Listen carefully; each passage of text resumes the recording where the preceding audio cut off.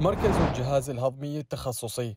أحد أهم المراكز التي دخلت حيز العمل في مدينة الإمام الحسين الطبية وبسابقتها الأولى في كربلاء يحتوي على غرف خاصة للأطفال.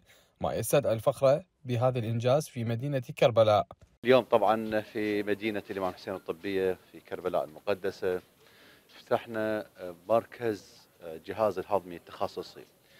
هذا المركز اللي بداياته ومقدماته كانت من قبل أطباء أخصائيين على مستوى عالي قاموا بعمل جبار وكبير قبل المركز بإمكانياتهم العلمية.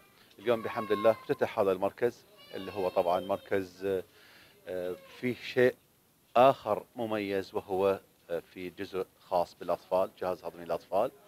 طبعا هذا المركز ليس فقط لإجراء العمليات وللاستشارية وإنما سيكون هناك إن شاء الله كذلك هو مركز لتدريب الكوادر الطبية والتمريضية لأن هذه الكوادر الموجودة في كربلاء المقدسة يجب أن نستفيد منها استفادة كبيرة.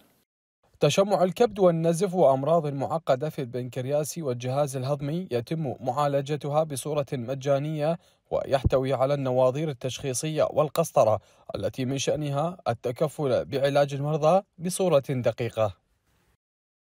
المركز يستقبل المرضى المصابين بأمراض تشمع الكبد ونزف القنوات الهضمية وتضيقات في القناة الصفراء وأمراض المعقدة في البنكرياس والكبد والجهاز الهضمي.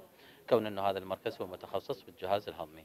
ويضم أيضا النواظير اللي هي النواظير التشخيصية ناظور المعدة والقولون بالإضافة إلى النواظير التخصصية اللي هي قسطرة القنوات الصفراوية. ومعالجة تضيقات وأورام البنكرياس والجهاز الهضمي عن طريق الناظور.